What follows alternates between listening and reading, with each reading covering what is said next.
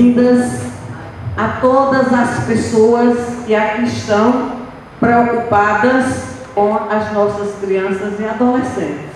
Aconteceu na manhã desta segunda-feira, no auditório da CDL em Cajazeiras, o primeiro Fórum Comunitário Selo da Unicef, município aprovado, edição 2013-2016. O tema do evento foi Eu e meu município crescendo juntos.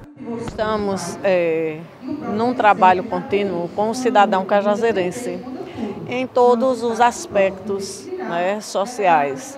Vivemos em busca ativa, é, trazendo a, a, criança, o adolescente é, para o mundo real né, e não esse mundo virtual, esse mundo de entrega que nós temos lá fora.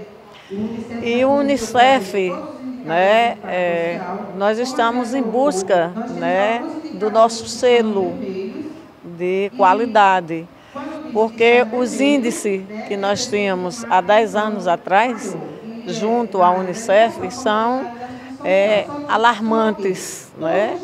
mas nós estamos mostrando a nova realidade né, dos 10 anos para cá e principalmente nesses dois, nesses dois últimos anos, o cuidado que nós estamos tendo com os cidadãos, mas especialmente com essa, essa parte da pirâmide social, que é a criança e o adolescente. A prefeita Denise foi contemplada recentemente com o prêmio Prefeita Empreendedora, tanto em nível estadual quanto em nível nacional.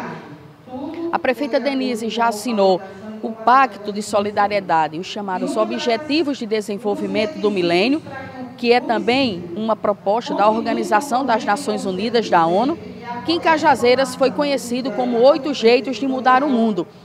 E isso passa necessariamente pelas ações da Secretaria de Educação, Secretaria de Cidadania e Promoção Social, Secretaria de Educação e outros órgãos que trabalham efetivamente para promover qualidade de vida à população, segurança e assim sucessivamente.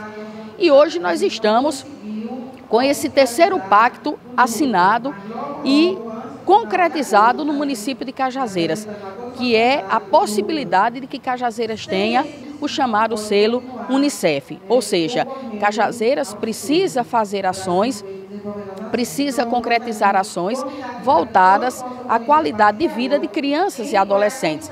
Então, nós estamos trabalhando com todos os órgãos que estão ligados diretamente à criança e ao adolescente e com as secretarias que trabalham diretamente com crianças e adolescentes.